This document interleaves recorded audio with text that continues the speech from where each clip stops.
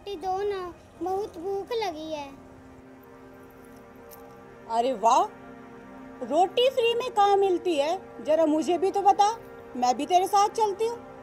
Aunty मैं आपके अगर हाथ जोड़ती हूँ मुझे दो रोटी दे दो मुझे बहुत ज़ोर की भूख लगी है। हाथ जोड़ने से रोटियाँ नहीं मिलती। अगर रोटी खानी है ना तो पहले कुछ काम करना होगा। बोलो मंजूर है? हाँ आंटी मुझे मंजूर है। लेकिन काम करने के बाद आप मुझे दो रोटी दोगे ना? हाँ हाँ क्यों नहीं? मैं तुझे दो रोटी नहीं बल्कि पूरी चार रोटी दूँगी और साथ में सब्ज़ी भी। हाँ आंटी आप सच कह रही हो ना? आप दो रोटी नहीं चार रोटी दोगी साथ में सब्ज़ी भी? हाँ हाँ मैं सच बोल रही हूँ। चल अब जल्दी से काम पे लग जा। क्या करना है आंटी काम? वो देख वो जो सामने बर्तन है ना जल्दी से उन्हें साफ़ कर दे। अभी कर देती हूँ।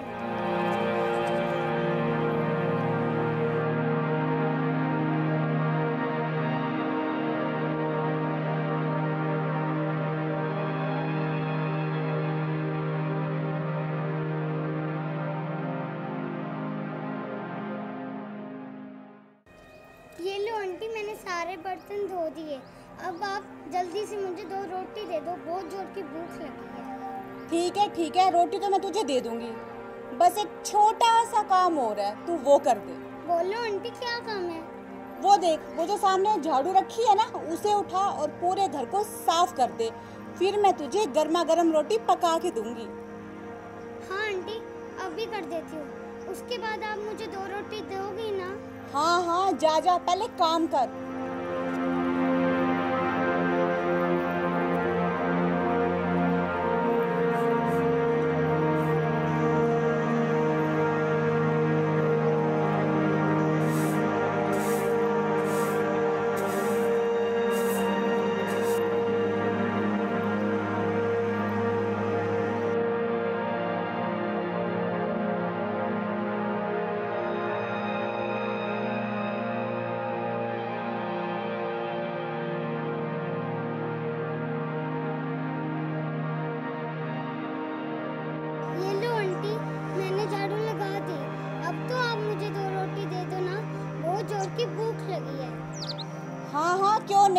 इधर बैठ और मैं तेरे लिए गर्मा गर्म रोटी बना के लेके आती हूँ।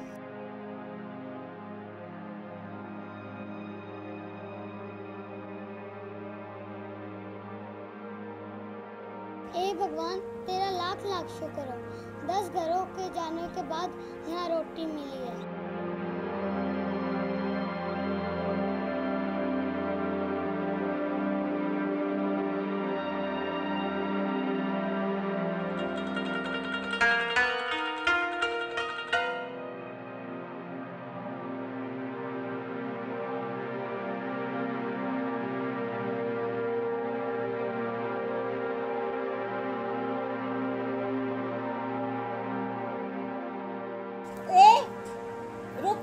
इधर आ। बोलिए आंटी कुछ और काम भी रह गया क्या? नहीं तू मुझे सबसे पहले ये बता। तू तो मुझे कह रही थी कि तुझे तो बहुत ज़ोर की भूख लगी है और अब तू ये रोटियाँ क्यों नहीं खा रही? पहले बता मुझे। आंटी ये मैं अपनी माँ के लिए लेके जा रही हूँ जो बहुत बीमार है और उन्होंने तीन दिन से कुछ भी नहीं खाया। और तूने कुछ खाया है क्या? मैंने भी तीन दिन से कुछ नहीं खाया क्योंकि हमारे घर पर कुछ खाने के लिए नहीं है।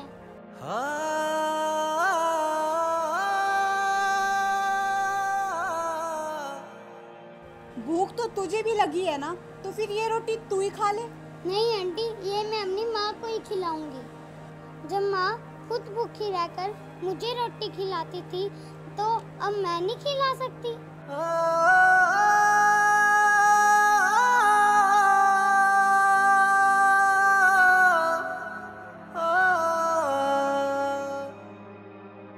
वारी मेरी लाडो, लोग तो ऐसे ही बेटियों को कोख में मरवा देते हैं, पर उन्हें नहीं मालूम कि बेटियाँ तो अनमोल रतन होती हैं। गुड़िया, तू मुझे एक बात बता, तेरे पापा कोई काम धंधा नहीं करते क्या? नहीं, आंटी। मेरा पापा तो एक महीने पहले एक्सीडेंट में मारे गए थे, और मेरी दादी ने मुझको और मेरी मम्मी को घर से बाहर निकाल दिया। घर में जितने भी पैसे थे वो मम्मी की दवाई पर लग गए। और घर में खाने को एक दाना भी नहीं है। गुड़िया तू चिंता मत कर सब ठीक हो जाएगा। भगवान के घर में देर है पर अंधेर नहीं। ठीक है? एक काम कर तू ये रोटी खा ले और तेरी माँ के लिए मैं गर्मा गर्म रोटी और खिचड़ी बना लूँगी। और फिर हम दोनों मिलकर तेरे घर चलेंगे और मैं तेरी माँ को एक अच्छे डॉक्टर को भी दिखाऊँगी। क्या आप सच कह रही हो आंटी? हो जाएगी। जिस माँ की तेरी जैसी बेटी हो, भला उस माँ को कभी कुछ हो सकता है।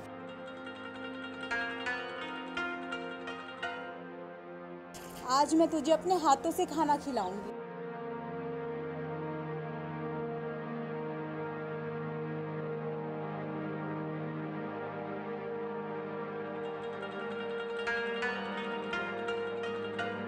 पता नहीं लोग बेटियों को बोझ समझ के कोक में क्यों मरवा देते हैं?